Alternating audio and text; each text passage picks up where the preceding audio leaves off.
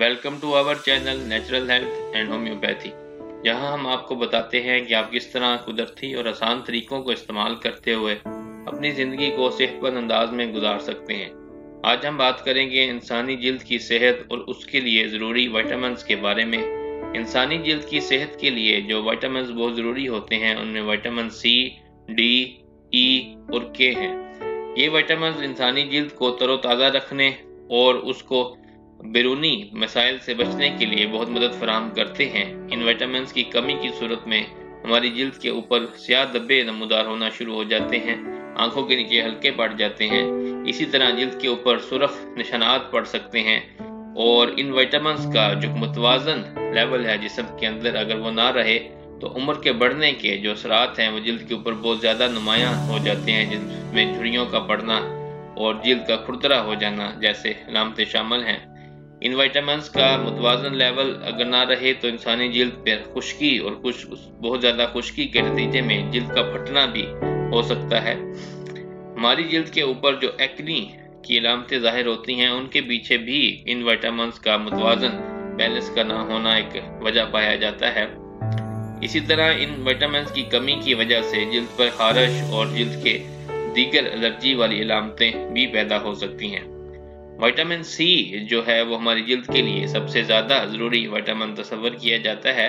हमारी जल्द की जो सबसे बाहर वाली जल्द लेयर होती है, जिसको एपिडर्मस कहते हैं, उसमें विटामिन सी की बहुत ज़्यादा मकदार पाई जाती है। इसी तरह उससे जो अंदर वाली लेयर है, जो डर्मिस होती है, उसमें भी विटामिन सी की एक अच्छी मकदार पाई जाती है। इसकी वजह से विटामिन सी का जो एक बुनियादी लेवल है, जिसको आमतौर पर 1000 मिलीग्राम पर डे तस्वर किया जाता है कि ये ज़रूरी होता है कि ये लिया जाए।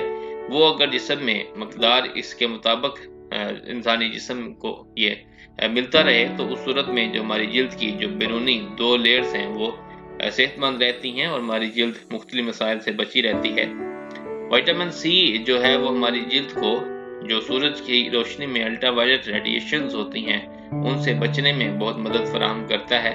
इसी तरह विटामिन सी जो है वो हमारी जल्द को इस काबल बनाता है कि जो हमारी जल्द के जो सेल्स हैं, उनको अगर कोई ज़ख्म लग गया है या वो किसी वजह से उनको कोई चोट लगी है, वो टूट रहे हैं तो उनको दोबारा अपनी सेहत को बरकरार करने और दोबारा हील होने में बहुत मदद फराम करता है।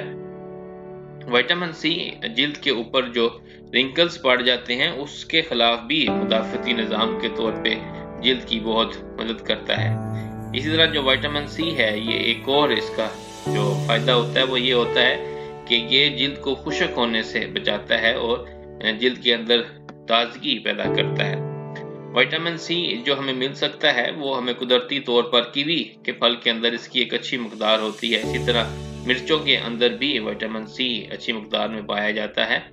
जो स्ट्रॉबेरीज होती हैं, उनमें और इसी तरह ब्रोकली में भी विटामिन सी मिलता है। पालक के अंदर भी विटामिन सी की एक अच्छी खासी मकदार हमें मिल सकती है और उसके अलावा जो सबसे ज़्यादा विटामिन सी मिल सकता है वो हमें सिट्रस फ्रूट्स जो उनसे होते हैं, जिनमें नींबू होते हैं, माल्टे होते हैं, चकोतरे होते हैं, उन सब में भी विटामिन सी एक अच्छी मकदार में पाया जाता है। दूसरा जो जल्द की सेहत के लिए बहुत ज़रूरी विटामिन है, वो विटामिन डी है।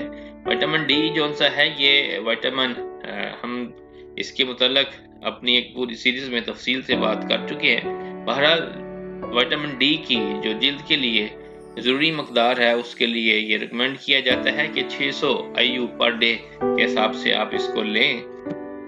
विटामिन डी हमारी जल्द की सेहत को बरकरार रखने में और हमारी जल्द को मुख्तलि बीमारियों से बचाने में बहुत अहम किरदार अदा करता करता है और इसी तरह इस विटामिन के इस्तेमाल की वजह से हमें जल्द की मुख्तलिफ़ जो बीमारियाँ हैं, उनके खिलाफ क़वत मुदाफ़ियत पैदा होती है। विटामिन डी जो सा है, ये हमें मुख्तलिफ़ गज़ाओं के अंदर मिल जाता है। इन गज़ाओं में सीरियल्स में ये अच्छी मकदार में होता है सैमन मछली के अंदर इसकी अच्छी मकदार होती है। मुख्तलिफ़ जूसेस के अंदर ये विटामिन पाया जाता है। टूना मछली में भी इस विटामिन की एक अच्छी मकदार होती है। इसी तरह दही के अंदर और दूध की दीगर जो प्रोडक्ट्स होती हैं, उनमें भी ये मिल जाता है। विटामिन डी की कमी की सूरत में आप इसको सप्लीमेंट्स की सूरत में भी इस्तेमाल कर सकते हैं, लेकिन उसके लिए आपको ज़रूरी है कि आप अपना टेस्ट करवा कर अपने डॉक्टर से मशवरा करके लें। विटामिन डी जो सा है, ये जिल्द की बीमारियों से हमें बचाता है, लेकिन अगर कोई बीमारी हो भी जाए तो उस सूरत में भी विटामिन डी उस बीमारी जैसे ददरी है तो उस तरह की बीमारियों से दोबारा जिल्द को रिकवर करने में भी बहुत मददगार विटामिन तस्वर किया जाता है। जो तीसरा विटामिन हमारी जिल्द के लिए बहुत ज़रूरी होता है, वो विटामिन ई है।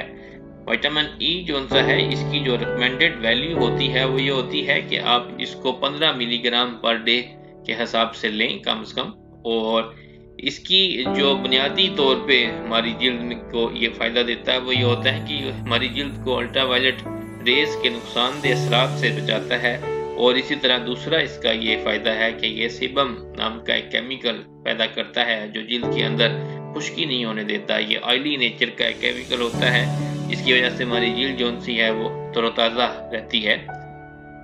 विटामिन ई जो सा है, ये हमें मुख्तलिफ़ बीजों में मिल जाता है। इसी तरह बादाम के अंदर इसकी अच्छी मकदार होती है और सूरजमुखी के बीज में भी ये पाया जाता है।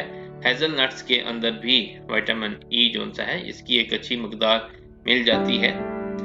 जो चौथा विटामिन है, जो हमारी जल्द के लिए एक अहम विटामिन समझा जाता है, वो विटामिन के है।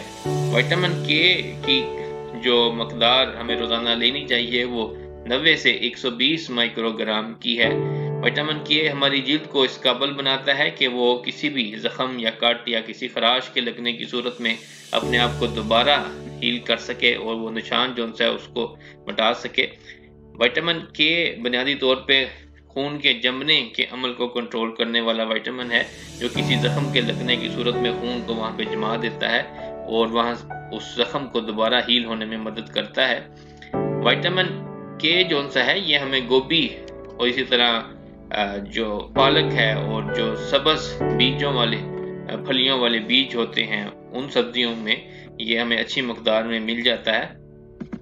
इन चारों वाइटामिन का जो बुनियादी लेवल है, वो हमारी जिसम के अंदर बरकरार रहता है। तो हमारी जिल्द जो सी है, वो सेहतमंद रहती है, वो मुख्तलि बीमारियों से बची रहती है और इसी तरह जो मौसमी असरात हैं, उनसे भी वो बची रहती है। सूरज की नुकसानदेह शुआओं से भी बची रहती है। तो ये वाइटामिन जो हैं हमारी जल्द की सेहत के लिए बहुत अहम होते हैं। देखते रहें हमारा चैनल और जानते रहें अपनी सेहत के बारे में। बहुत शुक्रिया।